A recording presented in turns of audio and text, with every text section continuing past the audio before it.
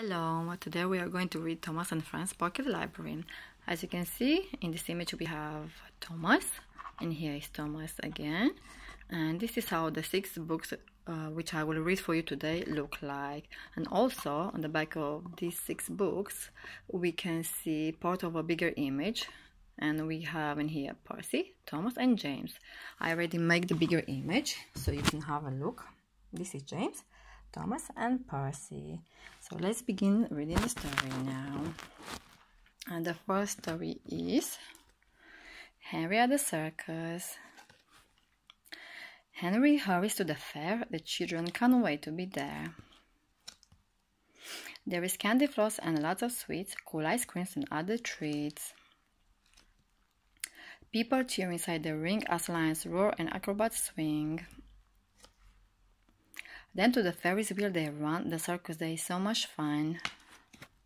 The next story is Thomas' friends.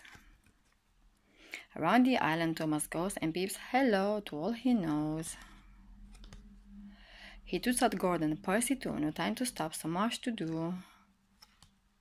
He grins at Harold in the sky. Bust my buffers, Thomas cries. Oops. To Tidmouth Shed, when each day ends, he says good night to all his friends. The next story is Edward's at the docks. Edward helps by hauling freight, his flatbeds loaded up with crates. He speeds to Brendam docks with care to drop off all the cargo there. Working slowly, box by box, Cranky lifts them from the docks. The captain waves and calls with joy. The ship is set to sail. Ahoy! The next story is James at the farm. James takes people for a ride. He passes through the countryside.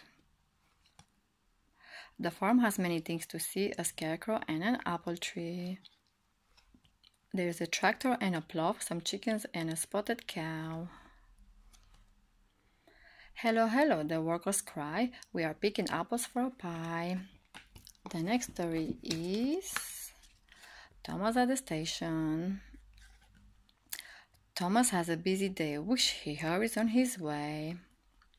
At the station, people wait. Where is Thomas? Is he late? Look who's chugging down the line. Here is Thomas right on time. See the signal change to green. All aboard and off they steam.